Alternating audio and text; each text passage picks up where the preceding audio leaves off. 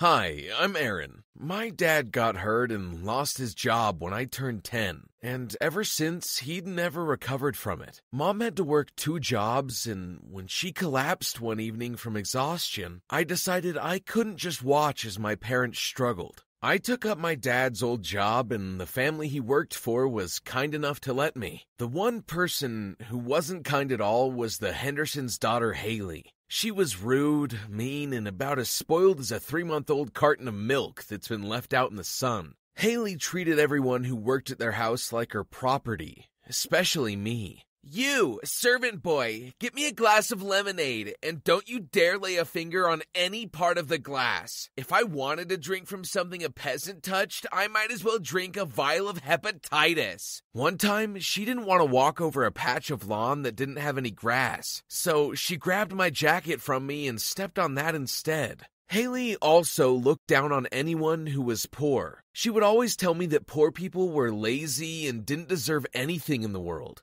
But Haley changed a bit one summer. Her usually angry personality was replaced by something quite weird, especially for her.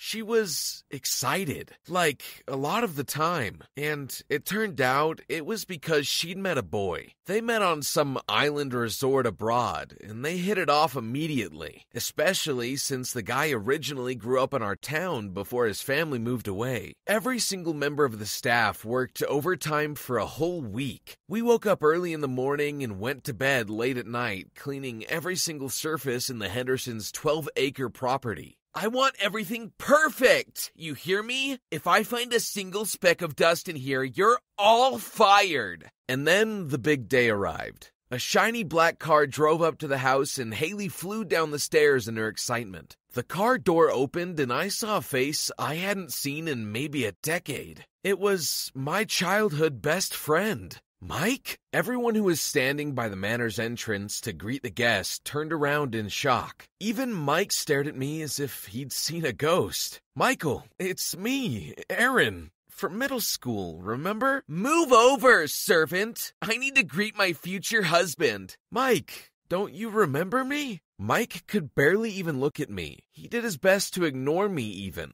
Haley pushed me aside and glared at me for trying to talk to her boyfriend. Homeroom. We sat next to each other. We went to the same middle school, remember? We used to be best buddies till your family moved away. What? I have no idea what you're talking about. Can you get your servant in line, babe? I don't like it when poor people talk to me. One word more out of you, peasant, and I'm firing you so hard you'll end up working at McDonald's on the moon. You can't possibly know my boyfriend. He's the son of a shipping magnate. He's from a proper family, and you're basically human trash.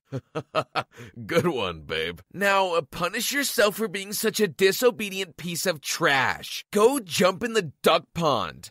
You'd think I can just say no, but Haley is a special kind of boss. One instance of disobedience and she'll fire people. One time her makeup artist did one eyelash wrong, one single strand, and she fired her and told everyone that she was a thief. Nobody hired her again, ever. I heard that girl lives in a subway station now, so I had to do what I had to do. I reached into my pocket so my phone could at least be saved, but as soon as Haley saw it, she told me to stuff it back in where it was. I lost both my dignity and my five year old phone that day. Later that night, after I'd washed myself 14 times just to get the stench of algae and duck poop off my skin, I went up to the manor to make sure everything that Haley wanted for breakfast next morning had been prepared just the way she wanted it. And she had a habit of wanting Turkish delights for a midnight snack that only I could make. But as I went up the steps in the garden, I heard someone laughing and scuffling.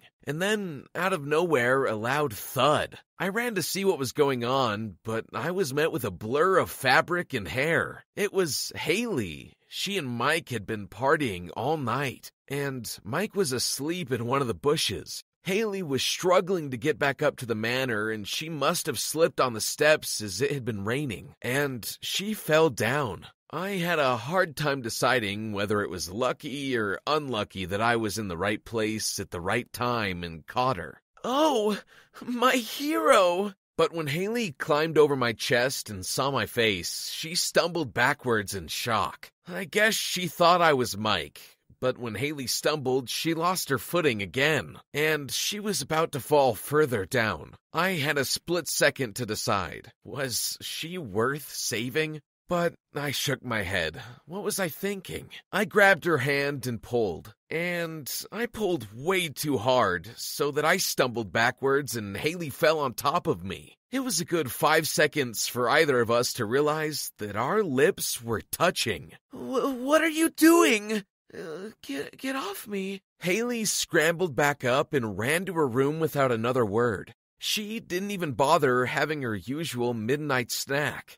The next morning, it was like Haley was a totally different person. She was bashful, and she couldn't even look me in the eye. I must admit, even I felt awkward around her. Something inside me was stirring. Haley did a complete 180 she could not leave me alone. Every corner of the property I went to, she was there. When I did some gardening, she would plop on the grass behind me. When I did the laundry, she sat on the washing machine and just stared at me. I wanted to ask her what was going on, but I felt too awkward to talk to her. Things escalated when I realized that she was following me. When I went home, I saw her hiding in the bushes outside my house. And when I went to get groceries for my parents, she was lurking behind the produce aisle. I pretended not to notice, but I saw her every time.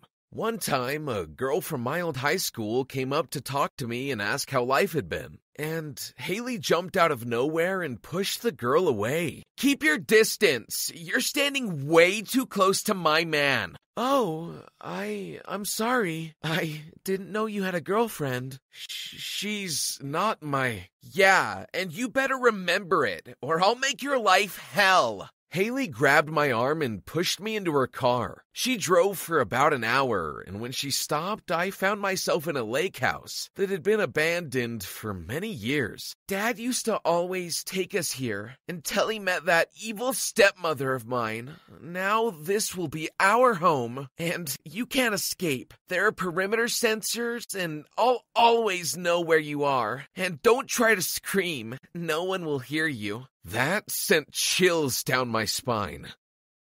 Haley showered me with gifts. She hired people to fix up the place and made it look brand new again. She bought me a brand new phone, a computer, an S-Box, and a Polystation to keep me occupied. But there was no internet. I didn't even have reception on my new phone. She brought me expensive clothes and hired the best chefs to cook us meals. But she saw that I didn't use any of the gifts, and one night I gave them all back to her. Haley got frustrated.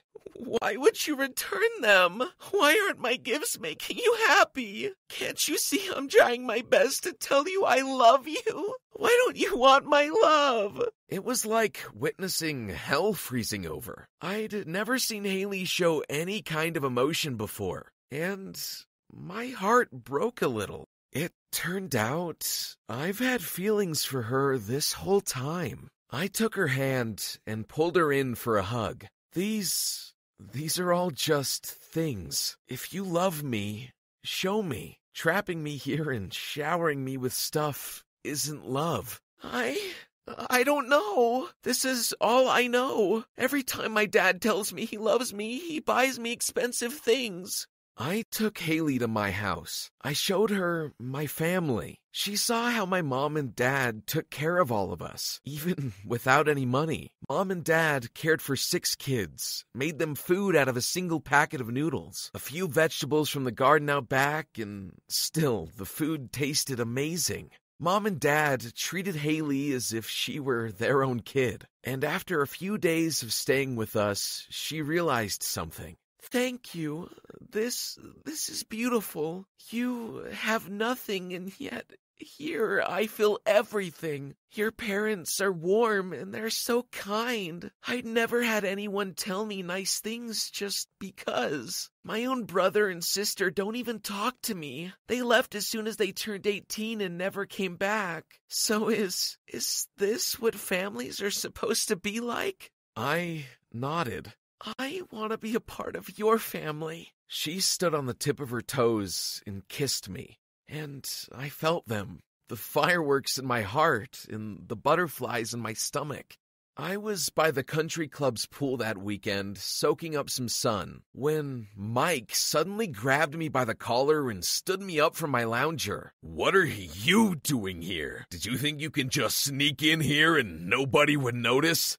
The country club's manager saw that and was about to step in. Never you mind, Jenkins. I've got this. Call security and have this cretin removed from the premises. He doesn't belong here. He's nothing but a beggar. Is he? Haley came up from underwater and walked slowly towards Mike. Oh, babe, didn't know you were here. I've been trying to call you for days. Guard, take this man out of my sight. What?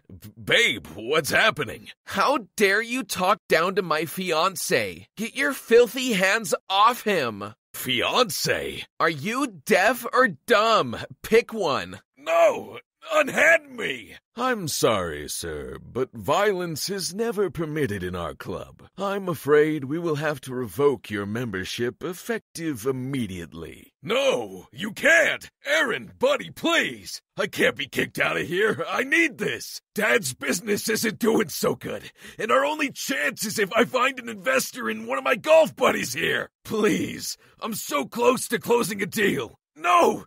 Unhand me! I'm still talking to my friend! The manager looked at me as if to confirm. I shrugged my shoulders and shook my head. Friend?